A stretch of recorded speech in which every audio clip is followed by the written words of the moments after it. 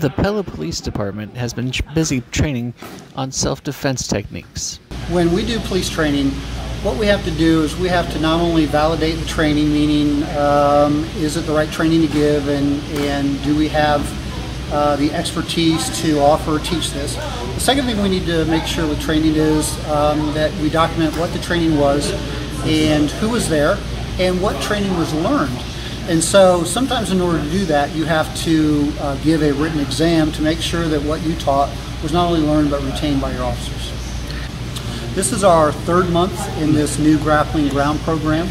Uh, we, we train two hours a month. What we hope to do at some point in the very near uh, future is to make that two two-hour sessions a month. Yeah, I'm very pleased. You know, I've been a defensive tactics instructor since 2004. I've been practicing jiu-jitsu for quite a while now, and what I see is very typical. You get a new student in here who really doesn't know anything about ground defense or grappling, and a lot of times in just a few short uh, sessions and segments, um, you see that improvement and they get excited and enthused about learning more and then it just progresses and keeps building and building. And what this really is, it's about controlling subjects. It's not about hurting anybody. It's not about, uh, uh, you know, necessarily defending from a fight. It's about controlling subjects who are offering a level of resistance to us to get them under control safely, securely, minimizing the injury and risk to the officer, uh, but also minimizing the risk and injury to the subject as well. You know, we live in a great town. You know, we, we have a lot of great support in our citizens, and with that, be you know comes the fact that we don't have to use a lot of force. Uh, our citizens are generally law-abiding, and, and when they make a mistake, what I found uh, is that they generally go with the program. They're compliant, and that's what we want. We we want to seek compliance above anything else.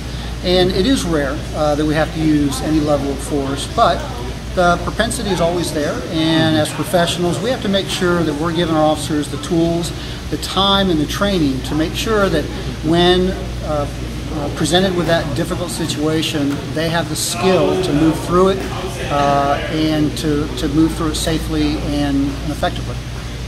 I really, really look forward to not only training our folks um, on a monthly basis.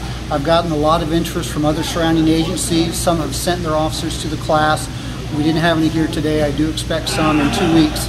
But um, really to just kind of push this message out that we really need to focus more on controlling our subjects and not just resorting to, to less than lethal strikes, batons, tasers. There's more that we can do uh, to help safely and, and securely do our jobs.